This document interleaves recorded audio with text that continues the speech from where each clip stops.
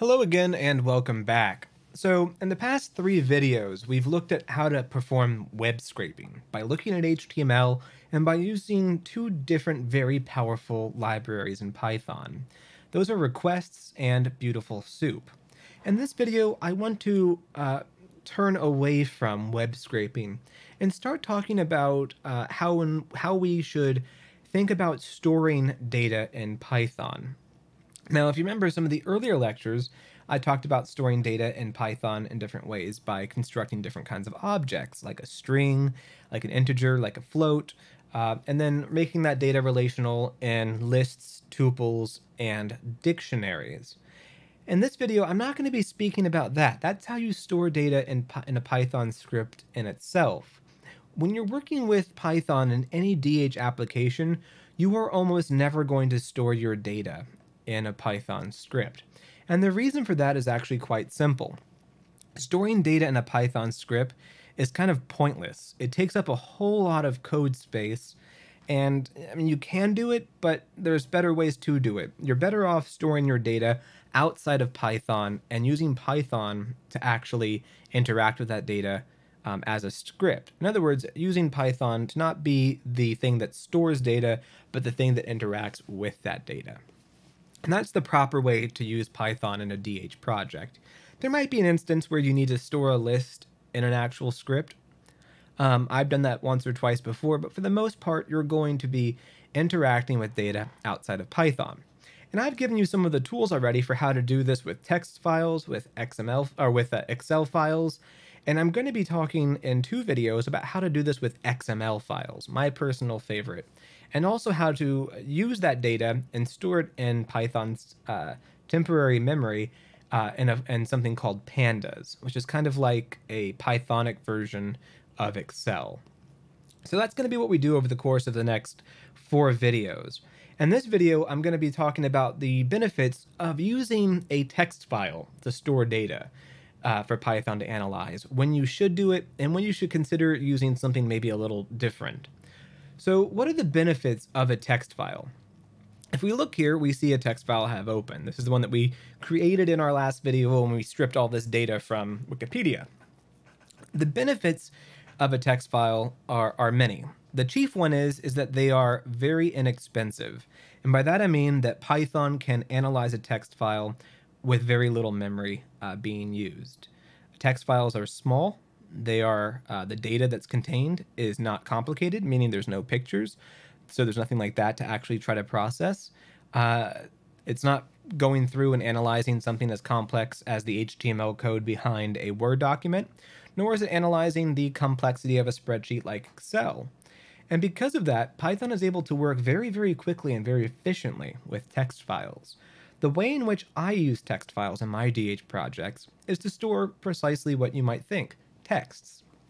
I use them as a way to um, to store long, long texts that I work with, be them letters, uh, be it uh, be it some kind of novel if you come across that, be it uh, a treatise, whatever. I store these as individual text files so that I can call them and process them individually and analyze them very quickly and very lightly in Python.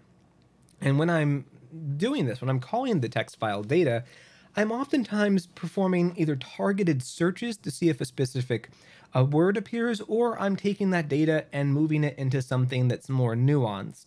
Like I'm extracting uh, specific keywords and putting them in an Excel spreadsheet, or I'm extracting the entire text itself and transforming it into an XML file, which is going to, I'm going to talk about that in lecture number 24. Um, but really, text files are really good for storing large quantities of data that can be called quickly. And in Python, the way in which you're going to call data uh, from a text file is, well, there's a few different ways. The first way is you can go through and read each individual line with that read lines function that we've seen in past videos. And when you do this, you are going to read each individual line in a text file individually. And what you're going to do is you can store your data in a couple different ways. You can store it by saying like a name, comma, an age, comma, and a date. And you can say, uh, you can do this. This is called uh, CSV, comma separated values. uh, comma value separation. I can't remember. I always get the CSV and CVS confused in my head.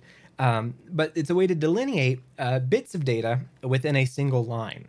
And then what you can do is you can do the same thing with the next person, the next age, and the next uh, date, and you can kind of store large quantities of data in this way. It's less expensive than Excel, but it's less powerful than Excel, and it's much easier to make mistakes because if you forget one comma, it'll break the whole thing. So I don't usually recommend storing data in a text file if you're structuring it in this manner. You're better off using Excel and you're better off using XML. The other way you can store data is by each individual line. So let's say you have a list of just names. So you're only going to be dealing with names. You have just name after name after name after name.